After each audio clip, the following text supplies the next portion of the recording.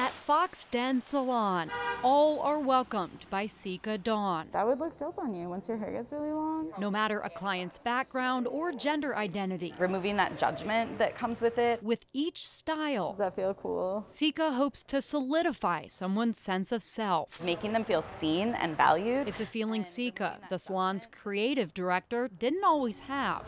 Sika's non binary and uses they them pronouns. And while they always loved getting their hair done, and I still felt out of place in a lot of salons. so they created a space they never had, where identities are appreciated and gendered language, like men's or women's oh, haircuts, is absent. All men don't have short haircuts. All women don't have long hair. There is no reason to be pigeonholing people into those service languages. Fox Den also recently joined Strands for Trans, a nationwide network of salons that commit to being a safe space for trans folks to get styled. You just look for the little barber pole on people's windows and it's a nice kind of nod to like, yeah, you can you can come here.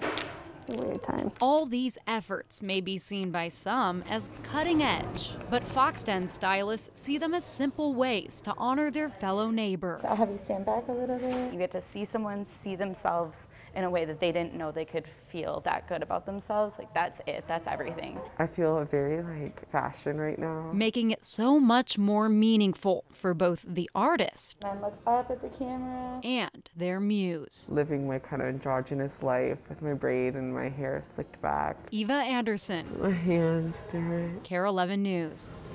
Very cool. At last week's Minneapolis City Council meeting, the City Council passed a resolution recognizing March 31st, 2022 as the International Trans Day of Visibility. Let's check in on the traffic situation.